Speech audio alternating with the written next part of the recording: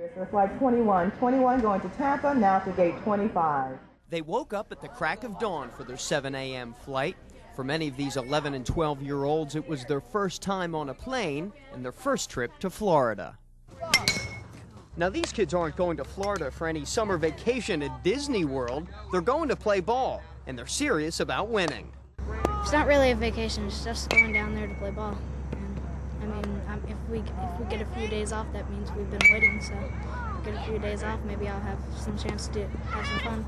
First round, I can get left-handed curveballs, and I'll move and I'll throw fastballs. As state champions, Chesterfield will now play in a tournament against 12 other nationally recognized teams in St. Petersburg.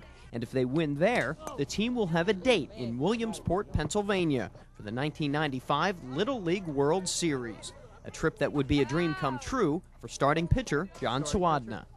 I've never dreamed we would get this far, but we're here and we can only go farther. Manager Nelson Marshall has been coaching Little League for nearly 20 years, but he's never had a team make it this far and says it's a big step for these future stars. It's a stepping stone for them because a lot of them have never been outside, probably the state of Virginia, to play baseball. And going to Florida, of all states, nice, hot, humid Florida to play ball, uh, they're looking forward to it. But can these players compete with some of the best young talent in the country? We have a chance. I, we have a real good chance, but we just got to play to our ability, and I think we can do it. Since we started playing baseball. So, as the players get one last team pep talk, the kids and parents both hope when they return next week they will be making even more travel plans. Plans that may include the national spotlight. All right, we're going to Florida. We're going to do. Win!